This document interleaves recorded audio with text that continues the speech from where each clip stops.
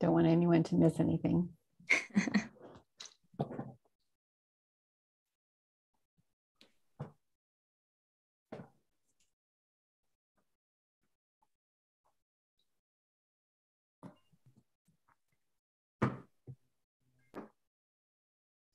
Okie doke. Well, welcome everyone to this session of AAC in the Cloud with Ashley Larisey and Lauren Sheehan. Ashley is a speech language pathologist and Lauren is a teacher. So we have a great team here talking about AAC and emergent literacy for families and caregivers. And I'll turn it bo- to both of you. Thank you so much. Thank you. All right, I'm going to try to share my screen. So, Lauren and I are very excited to be here with all of you today, talking all things emergent literacy. Let me see if I can get this going. There we go. Um, our presentation today is going to be geared towards um, family members, caretakers. Um, but if you're an educator, if you're a speech language pathologist, if you are someone else that's a stakeholder in an AAC user's life, um, I think you'll still take some things that you can use from this presentation. Um, but just so that you know going in, you know, a lot of our um, recommendations and things that we're talking about are geared towards families in the home. Um, so just to introduce um, myself, my name is Ashley Larisey. I'm a speech language pathologist. I've been practicing for 12 years. Um, I've worked in a lot of different settings, but most recently, I've um, been for the past eight years, I think, in a public high school in the um, Chicagoland area. Very passionate about um, person centered planning, literacy, AAC, um, and collaborative teaming. Um, and this is my lovely coworker, Lauren Sheehan. I'll let her introduce herself. Hi, everyone. My name is Lauren Sheehan. I am a special education teacher.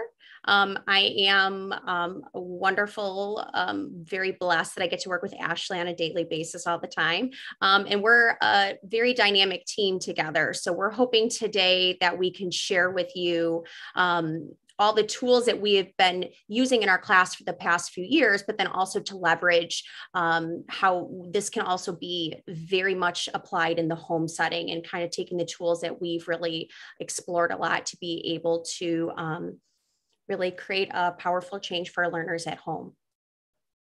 Um, you'll see at the bottom that we have a bunch of resources um, that are packed into a Wakelet. The one at the very top is going to be handouts from, for today. Um, there's so much that goes into emergent literacy that it's hard to kind of jam pack everything into 50 minutes. We're going to do our best. Um, but if there's anything that you want to learn more about or that you um, just want to read up more on, there's going to be tons of that information that's just there in the Wakelet. Um, it's in the Slack, and then we'll share it at the end as well. Um, so we're making this like a guidebook, right? Um, where could you go if you're wanting to implement emergent literacy in the home? So here you've got your table of contents. This is everything really that we're going to be going over today. So you're going to see in all of these different tabs, all of the different components of literacy instruction for emergent learners. Um, when we say that, um, we're talking about learners who maybe don't know all of their letters yet. Um, maybe they don't actively maybe engage or communicate during shared reading experiences. Um, they might not yet understand that print has meaning. So that maybe when I'm writing a letter to someone or that I'm sending a text, that that's actually language and that's actually communicating with someone else. Um, so we're looking at, there's one more that I'm like blanking on right now, Lauren. It's because I'm on the spot. oh my gosh. So anyway, four talking about a means of sorry, Ash. I was just yes. going to say, talk about a means of communicating with others, right? You have to have the ability to share what you're thinking when you want to share it. So whether it's via AAC, like we're going to be embedding today, um, or other, um, you know, means that um, a, a learner might use as well. Thanks, Laura. So, thinking about AAC specific to this conference, right? Every student, every learner, every adult needs a way to communicate um, and they need a robust communication system.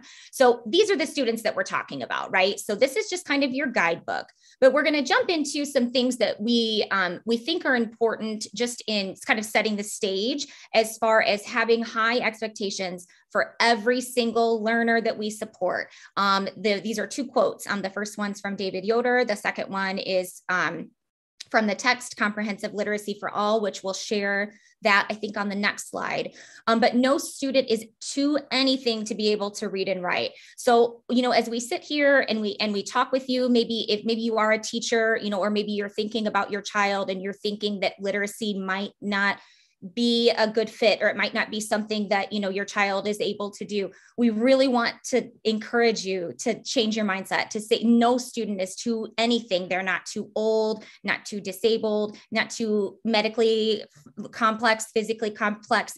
No one is too anything. And we're hoping to give you some um, strategies to support learners who may have more um, higher support needs to be able to access the alphabet, to be able to engage during reading experiences. Um, the second one, you know, Lauren and I both work in a high school. Um, and, you know, in high school, there's this big focus on functional skills and life skills. And, you know, we believe this in our core is that, you know, literacy is the most functional skill that your students can acquire. Um, you're talking about literacy is embedded in everything. Um, I always like to share this story or this, I guess, thought that I have um, when thinking about the functionality of literacy. You know, reading and writing are means of communication. Um, and those are the ways that we communicate with, pe- with people when they are not with us, when they're not I'm not sitting next to Lauren. I'm going to be texting her. Um, I need to reschedule an appointment. I'm going to email, you know, my doctor or something like that. Maybe I'm going to call, but maybe not. Literacy is providing this bridge to be able to communicate with people when you're not with them. And I always say, you know, working in a high school, I work with older learners and the learners who come and they find me on Facebook and they find me on Instagram and they're sending me emails. They're the students who can read and they're the students who can write. And so you know that connection with other people that literacy provides is truly functional and it's person centered it's relationship based so i think that no matter what when we're thinking about these things you know literacy truly is the most functional skill that your students can acquire so this is that text that we're talking about. If you don't have this yet, go run to Amazon or your local bookstore or wherever you like to buy your books. Um, this is Comprehensive Literacy for All by Dr. Karen Erickson and Dr. David Koppenhaver. They really talk about literacy instruction for those emergent learners that we're talking about today, and then also more conventional learners. So maybe you do have um, your, your child knows all of their letters and they can engage during shared reading and they have a means of communication. Those students are going to be using more conventional strategies. But for this emergent literacy that we're going to be talking about today, these are the components. These are all the things that we're going to be talking about. So we're going to break these down and how this can look in, in the home setting. And then just tying in this AAC piece, if you haven't seen this YouTube video by Dr. Karen Erickson, it is, I, I, I don't even know how many times I've watched it. Um, it's so powerful. And one of the things that she says is you can't do AAC without literacy. You can't. You can't. Because no matter how many words, single words that we could program, or how many phrases that we could program into an AAC system, it's never all going to be there. There's going to be a time where some fringe word, some noun, like maybe a favorite restaurant that I like to go to, or a name of a friend that I met at the park, I'm not going to be able to communicate any of those things if I don't have the ability to write with letters, with orth- the orthography. So I'm using letters to write um, and reading and writing. So just thinking about that um, as we kind of set the stage here, um, you really can't do AAC without literacy. All right, I'll let you jump in. All right, sounds good. All right, so as we progress here, you'll see in our guidebook that we will be breaking down all the um, components of emergent literacy here. Um, and as we progress through that, what we're going to do is we're going to share the component with you. We're also going to share a QR code that gives um, just additional links to a wonderful resource. Um, and most of our links are um, from the wonderful folks at UNC. Um, and then from there, we'll talk about what is it, we'll define it a little little bit. We'll talk about how you can do the strategy and then share examples with you um, for home use. So, um, just kind of a disclaimer there there's so much that goes into all of these different components that we really suggest that you explore more of these resources that we share with you because, um, like Miss Larisey shared, we only have so much time to really dive in. So, um, we'll get started here. So, shared reading, shared reading is um, I think my favorite um, component, uh, um, actually, it's one of my favorite. Actually, I love all the components. What am I saying? Um, but I think it's definitely one of my favorite components because it's truly um, an interaction and engagement with students or with our learners or with your child at home. Um, it's really an interactive reading experience between an adult um, and a learner, or adult and a child, an adult and another adult, maybe. it really builds on interactions with one another another. Um, we focus on language. We're working on print awareness. Shared reading is really great for students who um, are needs support in the engagement process of what reading is that we sit and we're looking at books or we're looking at an email or whatever the text might be. Um, it has structured and unstructured approaches with it as well. So two of the structured um, approaches to shared reading are um, acronyms. The first one is CAR and the second one is CROWD in the car um, we're not going to dive into those specifically today, but definitely, um, you know, check out the resources that we share so you can get familiar with both of them. Um, and then there's unstructured, where you don't necessarily have to follow um, a set of um, commenting or asking. It can kind of be a little bit more fluid process.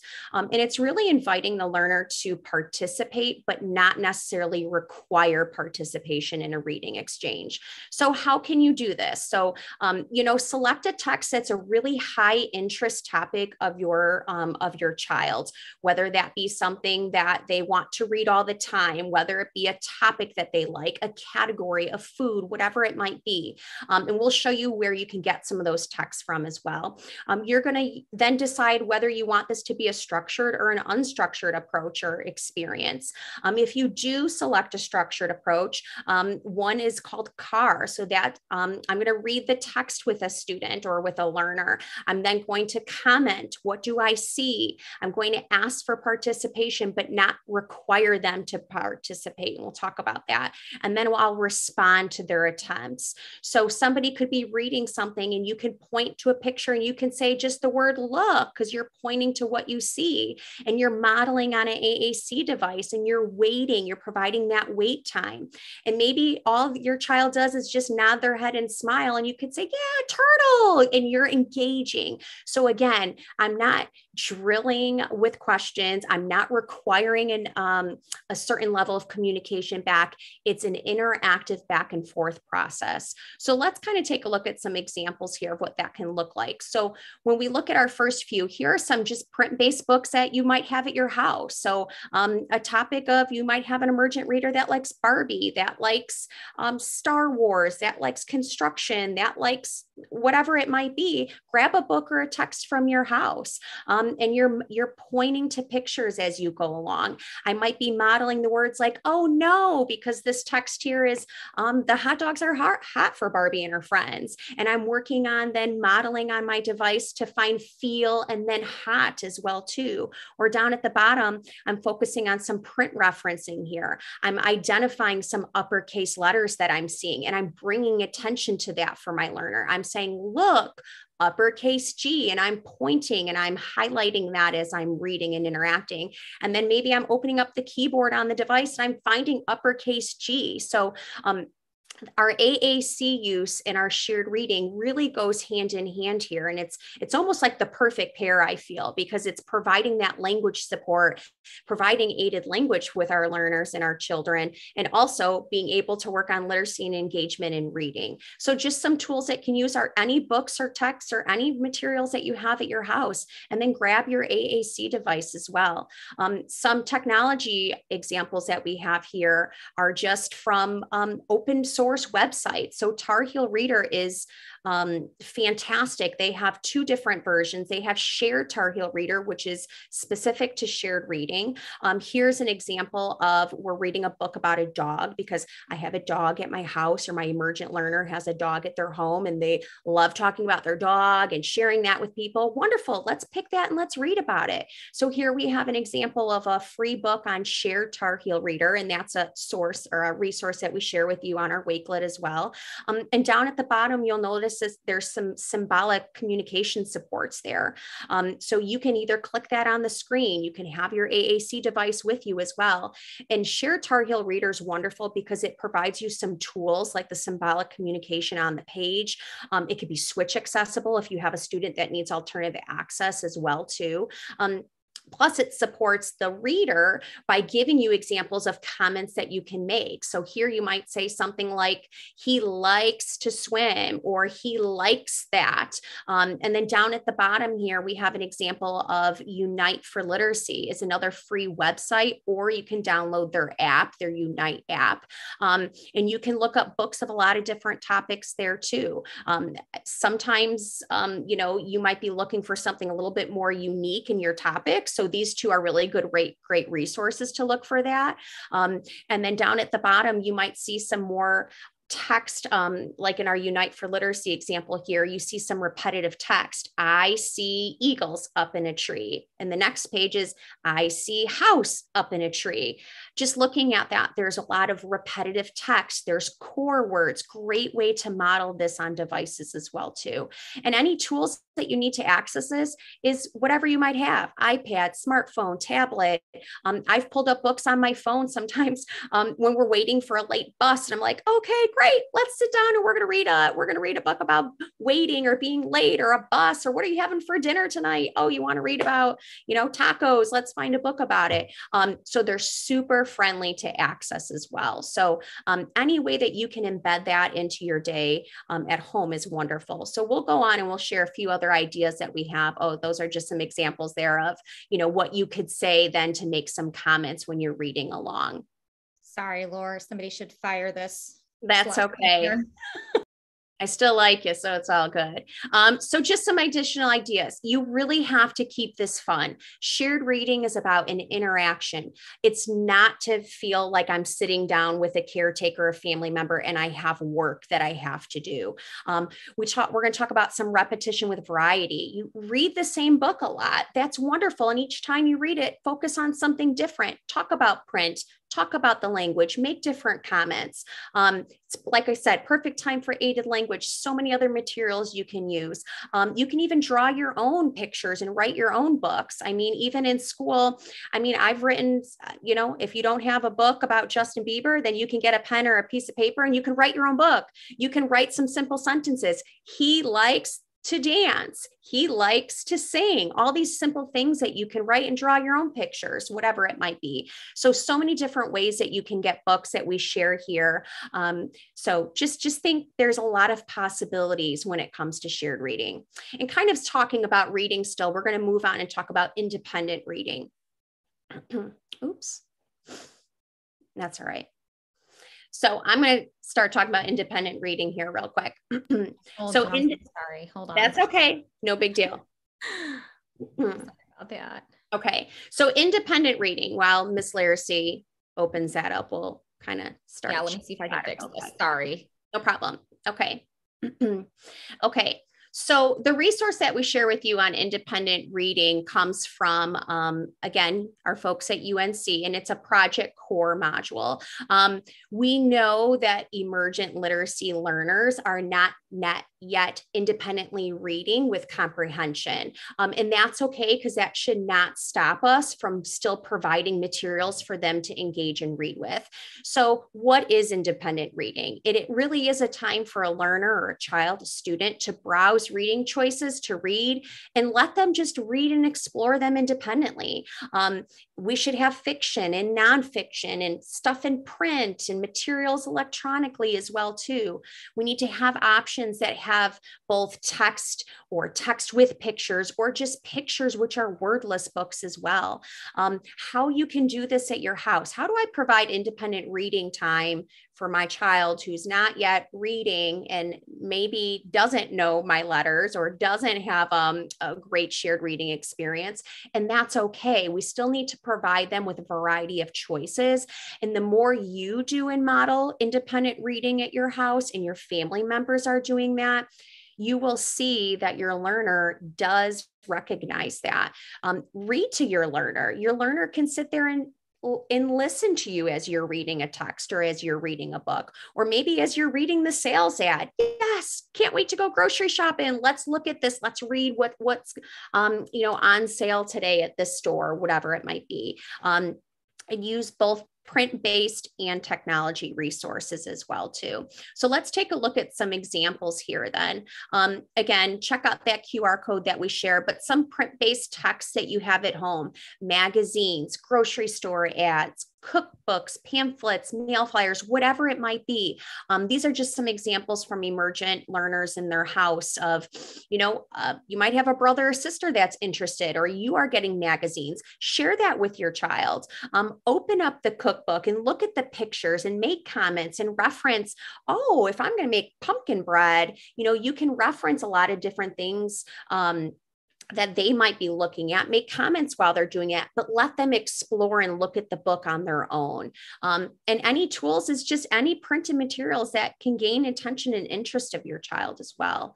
Um, some uh, some other ideas that we have, some electronic ideas I should I have, we should say, um, are YouTube videos. So these are great. You can find so many books um, on YouTube that are read by authors or read by other people just reading books, and it's simultaneously turning the pages. Um, if they don't have text on there, you can add closed captioning. It's a wonderful resource that's um, on most most um, videos, TV shows, whatever you might have to. So turn that on. So um, I have a, you know, I have a learner that really likes planets. Well, the National Geographic books are all on YouTube and they're all read by great, great authors or great um, you know people that are just reading books and it's wonderful. You can increase or slow down the rate of speech when you're reading the book.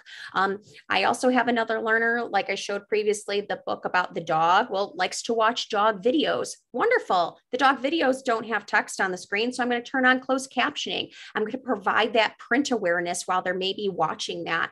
And i would suggest more of those videos and tv shows for more of our students that are maybe struggling to show engagement with with reading with shared reading. I wouldn't necessarily do it all the time for um, somebody who is very engaged in the reading process I mean, you can. I'm not saying that it's not a great idea overall. It's a great accessibility tool. Um, but if we're really trying to focus on increasing some of the literacy skills, then do that for students that you're having a hard time um, or children that are having a hard time engaging in the reading process with you at home. So, just a few other thoughts about independent reading for you. Um, look at other examples like websites, pull up their high interest websites and let them just scroll and explore the website.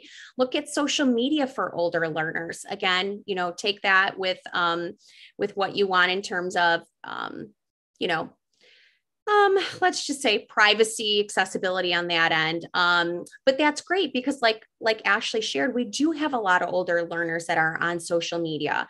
So let's look at notes in mails and letters or lists. Um, let them read your old grocery list that you have. Let them read mail that comes for you or other people or them in the mail. Um, keep it fun. Um, there's we share a fun reading tracker. If you want to embed um, everybody is going to be able to read so many books and let's um, you know just any way to kind of light liven up um, the exchange that your child has with independent reading and then also um, celebrating success when it comes with that too. Um, just a few other things that you want to think about, um, providing choices that could be accessible at any time. So how are you going to organize that? Um, probably the majority of us just don't want stacks and stacks of reading material, but maybe you do, and that's great. Maybe you think about books and going in bins or baskets. Maybe you have different folders that you want to use. Um, uh, another strategy is, you know, sharing shortcuts to your iPad or your tablet where that can be um, readily accessible on your homepage there. So there's an example of we have um, an example of a folder on an iPad there that says reading choices. So you just drag and drop all of those shortcuts on there of quick links that they can just click. Um, you know, tag your favorite books on um, Tar Heel Reader as well too. So a lot of different options that you can do in order to get quick access to independent reading choices for your child at home.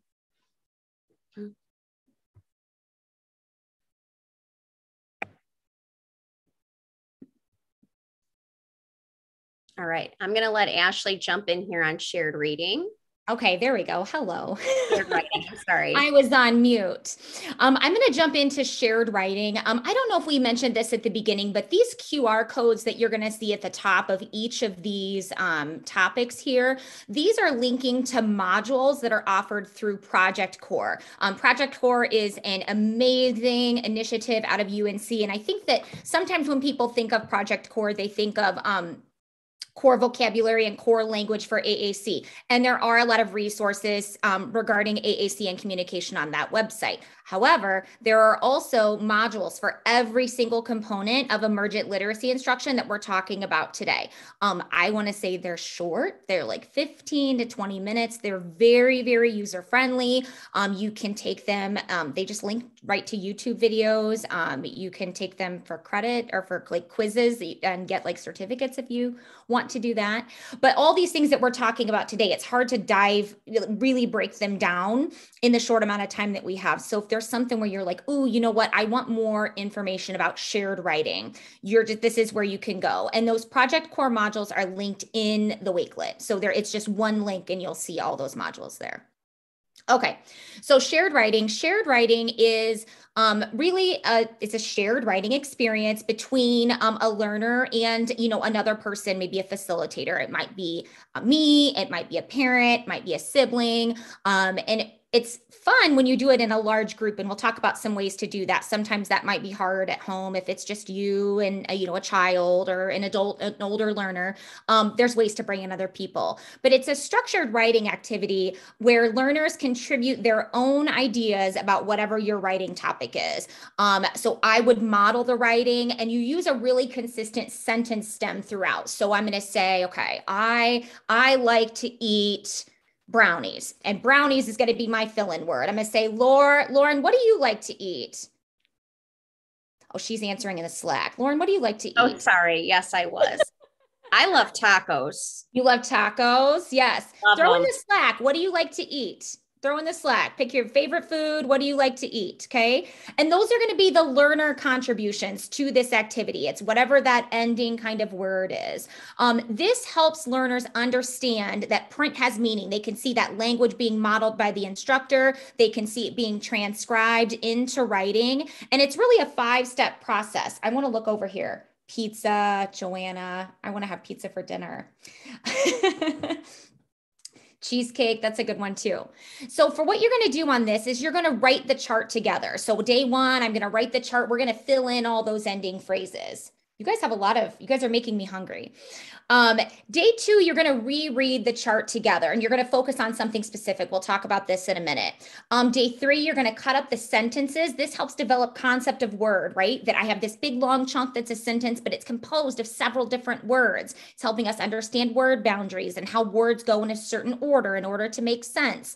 Um, and then days four and five, be the sentence and write the book. But I'm going to go ahead and jump in. Um, if you want to learn more about this, again, those project core modules, predictable chart writing is this what we're talking about right now. Um, there's other forms of shared writing as well too, um, but shared writing in the form of predictable chart writing is what we're going to talk about right now.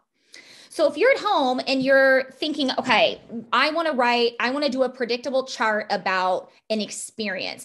This is so helpful on on and on a lot of different fronts um you know you as a caregiver you have many different experiences with your child that educators don't get to be part of at home. You do fun things on the weekend. Maybe you go to a restaurant. Maybe you're hanging out with family members. And I know that, you know, sitting in many, many IEP meetings, I hear from parents quite frequently, you know, we don't know what they did at school. And it's kind of vice versa, right? Like I have a student who might come in and I might say, Ooh, tell me about what you did over the weekend. And they might not be able to tell me. But if you're doing this predictable chart and I can say, Oh, you know what? I saw that Alana went to the beach this weekend and I saw that Alana liked the water.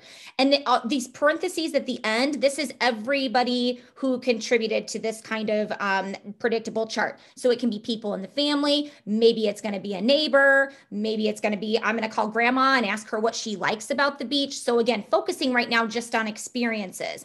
Um, what you can do for writing these charts, um, it's often helpful to anchor it to some sort of visual. So maybe when I'm at the beach, I know, okay, we're going to get home and we're going to write day one of predictable chart. We're going to write the chart. I'm going to take some pictures of us at the beach. So maybe we're building sandcastles and we're playing and, you know, we're splashing in the water. So I'm going to have all of that up here. Um, another thing that I'm going to be doing is I'm going to be doing a ton of modeling on the AAC device. So here you can see I have a lot of different things like sticks and rocks and sand and water and things that I might see at the beach. So maybe a learner has a difficult time kind of determining like, well, what did I like about the beach? Providing that robust AAC system with all of these different options is almost providing a choice board of some different things like what are some things that you remember? What are some things that you liked? You could also use the picture in this you know in this way too to help kind of provide some choices there um, so that's day one. And then you go through day two, day three, day four, which we aren't going to talk about. But day five is where you're going to write the book. Oh, I just want to go back here one second. You're going to see all you need for this is paper, markers, pictures, and a device. That's it. Super easy. Okay, let me go back. Uh oh. Oh my goodness. there we go. Okay. So, day five, you're going to make the book together. Now, what's really nice about this making the book is this gives the learner the opportunity to be an author. They get it gives them the opportunity to see this is something that I talked about. I went through these different days where I was working on this, and now I made this book. And the book can be a paper book. So, maybe they're making these kind of individual pages on pieces of paper, and you just, you know, paper clip or um, staple them together and it's just a simple paper book. It can be an ebook. So this is going to be an example of book creator. Book creator is amazing amazing amazing for digital books for creating custom digital books. So i'll just show you this is this is um Alana's book for the beach. Okay. And you can see you, if you look here at the top, it says read to me. So maybe I, maybe this is something that Alana wants to read during independent reading time. What's really nice about these books too is oftentimes say I had, say this was a picture of Alana at the beach. I mean, how many of us have students who love to see themselves represented in materials or represented in text? And I think that's really, really important to see learners seeing themselves represented in the materials and things that we're using. So that can be a really great way to increase motivation, you know, and engagement um, in wanting to read. So I'm going to just say, okay, I'm going to read this book. The beach I liked the water. I'm going to stop reading. You can see what's happening there is I'm getting highlighting word for word that's paired with that verbal output. That's going to be super, super helpful for independent reading time where, you know, a student can go and sit and do that and not have to have an adult there helping to facilitate. Of course, we can do that, but we don't need to. I liked the water. I liked the sand. I and you can set this up so that it turns the pages on its own, um, that it turns the pages, um, you know, with uh, the click of a button. Um, you can set this up for switch accessibility. So if you have, if you're working with a child or have a student who um, uses switches to communicate, that you could set this up for switch access. So lots of different things that you can do here um, for, for that. Oh boy. Okay.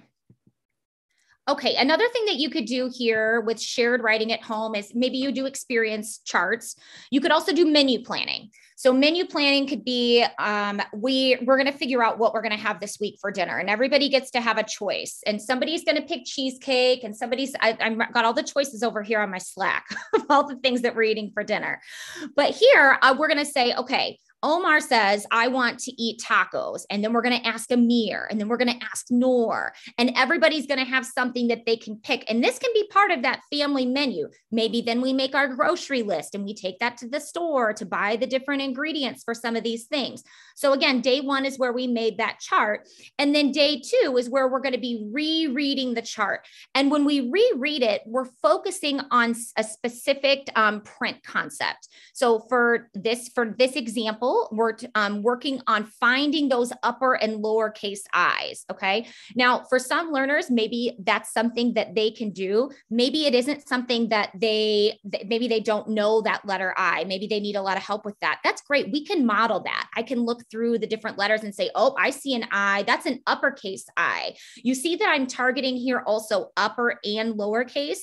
Um, that's really important. It's important to target those. Um, we're looking at those together and talking about the differences. Sometimes you might work with students where they've developed understanding of all of the uppercase letters, but don't know any of the lowercase letters, or they don't understand that that lowercase i is the same as that uppercase i, just has a different representation in writing. Um, so that's just a different way that we could work on that. You can make this really fun. You can use things like fly swatters. You can use, uh, we like these big pointers down here. We've got these everywhere. Um, you can get these at the Dollar Tree, cheap, you know, cheap stores. And again, I'm modeling, you know, on on an AAC device because I'm I'm just wanting to demonstrate this. It's not something that I'm making the child do, um, but it's just you know another way that I can provide kind of a visual support here. Um, again, all you need paper, marker, AAC device, and a pointer. Um, and you can you can do lots of different things. Maybe you're finding all of the instances of the word want. Maybe you're finding all of the spaces between the words. Maybe you're finding the capital letters or the periods. There's lots of different concepts of print that you could work on. But this this I think is really important, um, an important step in predictable chart writing. Um, and then day three, this would be an example of that cut up sentences thought. Um, for this step, what you're going to do is you're going to give, you know, your child or the learner um, a strip of a piece of paper with all of those uh, I want to eat tacos, right? And first they're going to cut apart those word boundaries. So they're going to cut in between the words. Now, I don't know if you can see here on tacos, tacos has maybe like five cuts in it. The key thing here is I'm not, I'm letting them make mistakes. It's okay to make mistakes. I think that many of us support learners who have become very, very prompt dependent because anytime that they're about to do something wrong, we jump in and we say, oh, don't do that don't do that we we want it to it's okay to make mistakes it's totally okay to make mistakes so let them make mistakes if they cut in between the word boundary be like oh that's ta co's. Oh, those need to go together. Let's try that again and tape it up and do it again. It's okay. You can also model making mistakes yourself. So maybe Omar had, I want to eat tacos, and maybe I had, I want to eat cheesecake. I can model making mistakes like, oh my gosh, I just cut apart cheesecake. I got, I got to fix that. I got to get my tape because it's okay. It's okay to make mistakes. Um, so you can see here, once we've cut apart these word boundaries, we're going to reorganize that sentence to put it in the right order. Um, and this might take some time. It might take some practice. Maybe it said tacos want to eat I. And we listen to that and we say tacos want to eat I. Does that make sense? No, that doesn't make sense. I don't understand try it again mix things up and try it again. Um, if you're working with learners who are much more emergent in this skill do like three word sentences like i like tacos instead of i like to eat tacos. You can make this and build this up as you kind of go along. It can be really short kind of sentences at first. Um, if you're working with learners who do use switches all you can do is move your finger along that and have them hit their switch when they're ready for you to cut. And then you cut it for them. So again, we're thinking about accessibility. We're not saying like, oh, you can't participate in this because you can't use scissors. We're going to find a way to make this work. Um, you can write charts for anything. You can write charts for um, what what's your favorite your favorite movie your favorite character? And you can think about other words besides nouns too. So maybe i'm um, talking about describing. So maybe instead of when we went to the beach maybe instead of saying i liked the sand or i liked the sun, maybe we're filling it in with a describing word like it was hot, it was wet, it was dirty. Um, planning like trips, like what should I bring? Um, when you are doing this in the home, you can put the chart somewhere that's easy for you to reference because you kind of want to point it out throughout the day. Um, if your if your sentences or your sentence stem was I like, you know, maybe you're talking about something and say, oh, you know, Lauren, I want to tell you about the best part of work today. I liked, and I can still point and kind of reference that word. It doesn't have to be this elaborate thing where I'm going over the chart, but I still want to bring awareness to that print and the connections between, um, you know, the language. Um, oh again need more people i kind of already mentioned that you can phone a friend um, you know make it make it a kind of social opportunity um, for the child where they can um, they can ask questions to other people and see what it is that they like um, we're going to jump into independent writing. So again, that QR code is going to link to Project Core, which is the independent writing module. Um, I think personally, this is one I think that people have the hardest time wrapping their heads around, but I think it's one of the ones that's the most important. Um, it's free writing. Okay. So I think that when we think about independent writing, the most important thing to think about here is that a learner has access to the full alphabet. So they're writing with letters um, and that they have something to write on. So that might be a computer screen. It might be, um, it might even be the refrigerator that they're putting magnets on the surface of the refrigerator.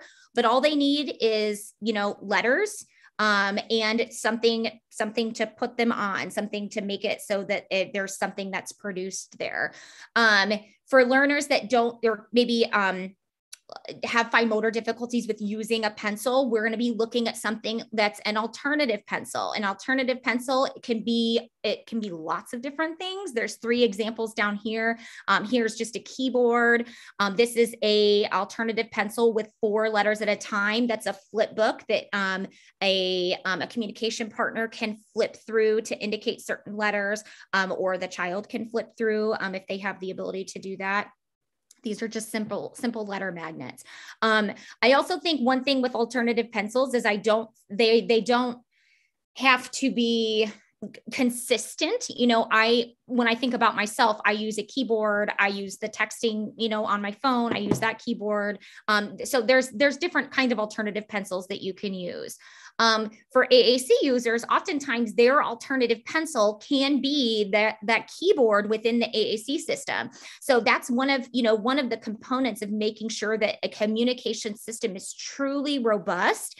Um, one of those components is making sure that it has a keyboard. Um, so that's just something to think about, you know, making sure that um, an AAC system does have access to that or access to the full alphabet. Um, how do we do it? Your learner is going to choose a writing topic. So, whatever it is that they want to write about, again, it's great if you can anchor it with some sort of photo, um, a picture, something that they like let them write and encourage them to write more. Um, this is building on more conventional skills where we're talking about um, editing. One of the greatest things that you can do when editing your work is by addition, by adding more things. So we're just going to let them write and encourage them to write more.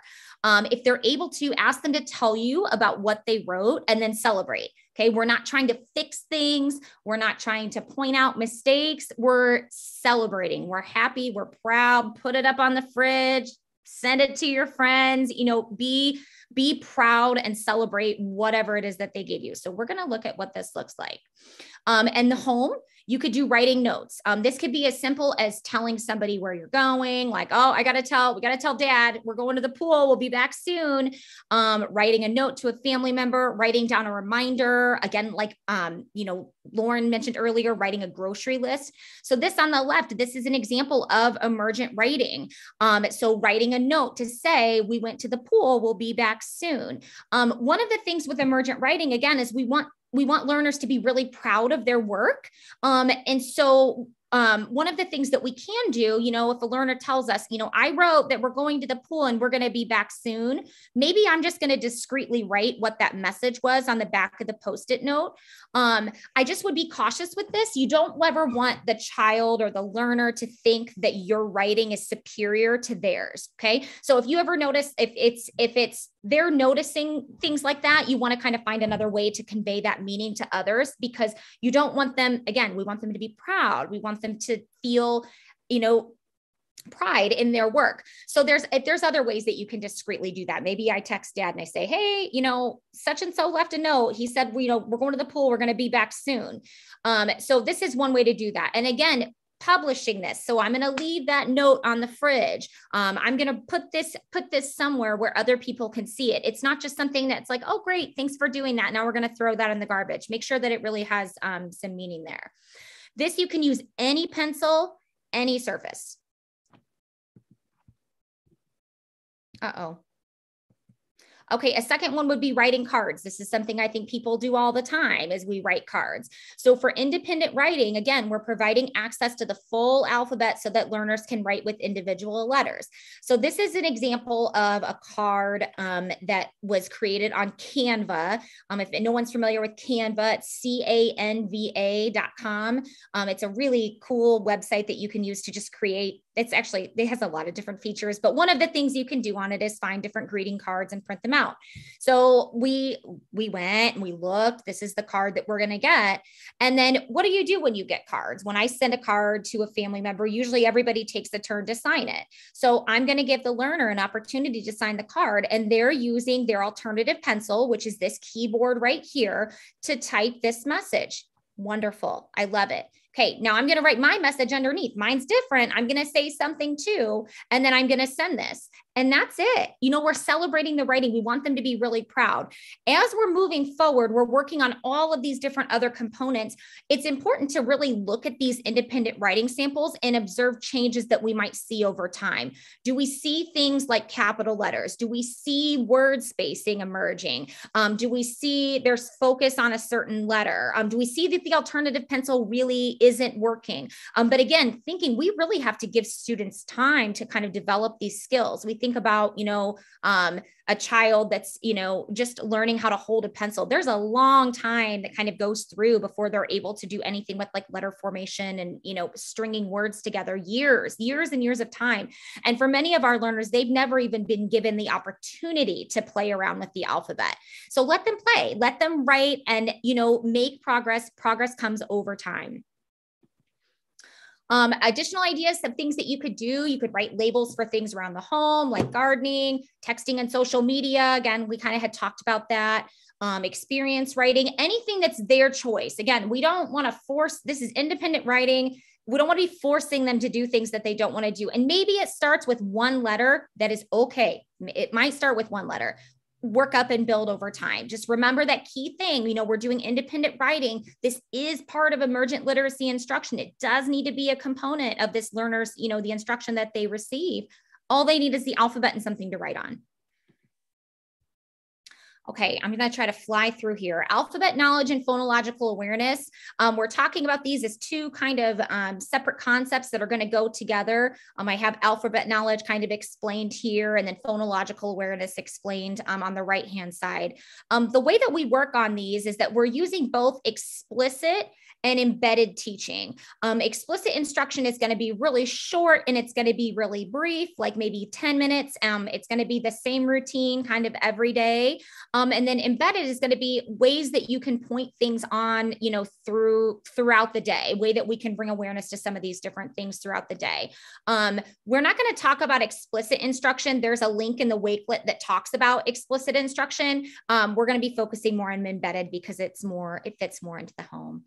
Um, so homemade alphabet books is one thing that you can do. So, um, you know, there's a lot of alphabet books for younger learners, um, you know, where they have a letter and there's like, there's an apple and an alligator and lots of these different things. But that doesn't mean that we don't still sometimes support learners who are a little bit older who may still benefit from having, you know, an alphabet book. That's great. Let them choose the pictures. Um, so here we've got um, Homer buying groceries, a dog that's bouncing, and Cookie Monster who's baking cookies. This was actually an actions alphabet book. So um, it, all of those words, all of those words are, it, there's some language kind of embedded there. This is just a simple book that's created in Google Slides and then some pictures that we found online. So very, very easy to do. Um, letter scavenger hunts. Um, this is another thing that you can do. Um, highlighting something like a letter of the day. Um, the research tells us that, you know, when we're doing instruction in um, alphabet knowledge and phonological awareness, that we need to be, or alphabet knowledge, we need to be focusing on a letter of the day, not a letter of the week, really focusing on a letter of the day. There's a specific um, scope and sequence that you can go through for that. Um, but you're going to see maybe how many times can I find this letter? And that would be more of that alphabet knowledge. And then on the right hand side, I see a picture of a panda, and you see that I don't have the P there. That's more of understanding that sound. I'm understanding that P represents panda. Um, this is just a little um, tool from LessonPix, which we'll go over here in just a minute. but there's lots of things that you can do with this. You can do games. Um, listening for words that rhyme, pointing out alliteration, um, names. Names is a big one. If you can put your child's name and your name in different places in the home, um, some of the earliest letters that are acquired by learners are the letters in their own name. So maybe you're lettering or you're labeling their name where their coat goes or their backpack or their toothbrush, just so they get repetitive exposure with seeing with seeing their name. That's really going to help. All right, so let's kind of transition. We went over the five areas of emergent literacy. And let's talk about some commonly asked questions that we get. So, um, a lot of times people are like, where do I get supplies in order to do this? Well, we want to just share with you that you don't need a lot of expensive tools. You don't need to go and spend hundreds of dollars of things. You already have a lot of things in your home. Or if you're really interested in going to purchase things, you can get things for cheap. So think about all the things that you can do with a packet index cards. You can write letters on there. You can write words. You can label things. You can make lists. You can write notes and give it to people. Um, if you don't have have some of writing supplies, grab a bin at your local discount store and go spend 10 bucks and you can buy a lot of different things that can support emergent literacy in your home. Um, maybe you grab some notebooks because you want to keep some independent writing. You, um, everybody, I, I know sometimes I keep a journal at my house. So maybe a learner wants to be able to journal with a parent. Go grab some of those fun things and invite the learner along with you. Um, I know from my own experience with my own own children. They like when I invite them along to pick out different things that they like and do the same thing here. So, um, there's lots of possibilities and you don't really have to spend much money or any money at all really um, let's kind of talk about another area where you can get some resources so on the next slide we're going to share um, just that qr code again of our wakelet um, and it's also been dropped in the slack a few times um, ash do you mind going to the next slide there real quick if you can Sorry, thanks. I know you're managing that, so thank you. Um, so just a few things that we do have posted in there. Um, we have some occluders that you can use. Um, those are just you can print them out either on normal paper, cardstock paper, laminate if you have it. If you don't have it, that's okay too. Cut them out. And you can use those to identify different um, language icons on a device. You can target different letters in print. You can look um, and you can just have some fun scavenger hunts that we talked about for letters with those. Um, we have a free set of alphabet cards for you that you're able to download and print as well. And just some fun reading charts. Maybe you want to track how much you're reading. Um, I know at my house, we track how much time we spend outside. You can track how many books you read, what types of books you read. Um, rating scales are really fun to do too. Did you really like like that book? Did you like that cookbook about the tacos that we that we made? Maybe so, maybe not. Um, and then Ashley also talked about um, one of the examples she shared were from LessonPix. Um, LessonPix is a hands down wonderful, wonderful resource. Um, it is so incredibly affordable as well too, um, and you can have your own account as a parent. You don't have to be a teacher in order to use this um, to order to use LessonPix. Um, a lot of custom made learning materials. So maybe you want to make an alphabet book. Maybe you want to make a chart that talks about um, the different letters that you've read or maybe you want to go on there and you want to write your own um, you know topics whether it be lists or scavenger hunt. Um, the, really the possibilities are endless when you come to creating some custom materials for your child.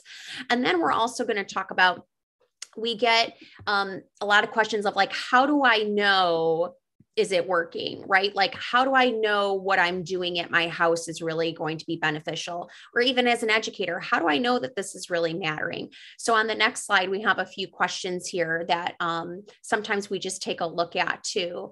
Um, ash do you mind going to the next slide there? Thanks. Um, so, are your children more engaged during reading? Do you see that they're more aware of print in your home? Um, are they more successful when they're identifying letters and letter sound relationships with each other? Um, are they more excited to be able to go grab a book to read at their home or grab a sales ad or to grab a pamphlet from a video game that they like and they're opening it up and they're exploring? Or maybe you see them that they want, um, that they've turned on the closed captioning on their own on their um, devices. Are they more interested in writing? Do you see them grab grabbing a pen or a marker or a keyboard and they're typing or they're trying to write to the best of their ability. Um, all of those questions that you might be asking, yes, it's working. If you're seeing all of those things happen, and we can go on and on with um, different examples and different questions that people ask too. Um, but what you are doing is making an impact and it does matter.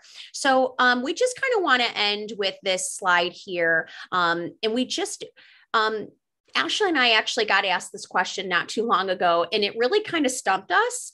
But um, it also made us think about, you know what, th- this is real. This is really questions that how does a parent get an education staff to be on board to implement this because maybe your child is going um, to school and they're not doing much literacy instruction or they're doing literacy and you're wondering um, you know how you can kind of fit in your input to there. And we really just have a list of ideas for you here. So please don't be afraid as a parent to send pictures and videos and email samples of what you might be doing at home.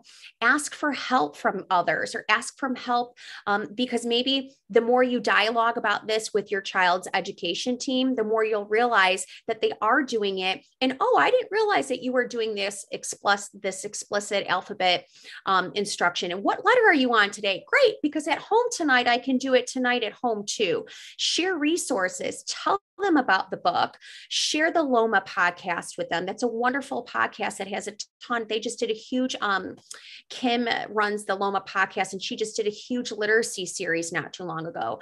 Um, Jane Farrall, her website is a huge tool, um, not only for educators, but for families as well. Um, get involved in more of the learner centered IEP planning process. Um, talk about specific literacy goals that you have for your child and how important that is.